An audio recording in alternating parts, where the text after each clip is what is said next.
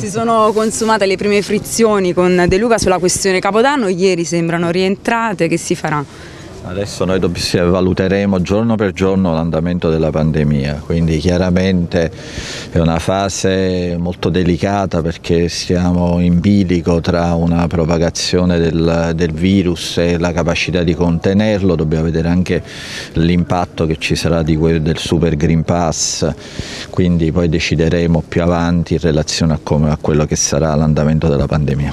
Ieri l'assembramento davanti al San Carlo diciamo, non è stato un buon auspicio. Sì, diciamo, c'è stato un, un, deficit organizzativo e quindi c'è stato troppo assembramento, evidentemente adesso non so esattamente come, diciamo, quali sono stati i motivi di quell'assembramento, bisogna essere più attenti rispetto a questi problemi. Sì, ma Verdolino che chiama poi gli ispettori per questa cosa dicono. Vabbè, insomma, vabbè, questo non posso giudicare, il suo ruolo è quello di controllare la, la, salute pubblica, quindi se l'ho fatto ha ritenuto che fosse utile farlo. Comunque indipendentemente da questo episodio che sicuramente eh, diciamo, va sottolineato, bisogna dire che ieri, ieri sera è stata una bellissima serata per Napoli e c'è stato un film straordinario che racconta una storia importantissima per la città, iconica per la città che è quello della famiglia De Filippo, un film veramente molto bello e emozionante.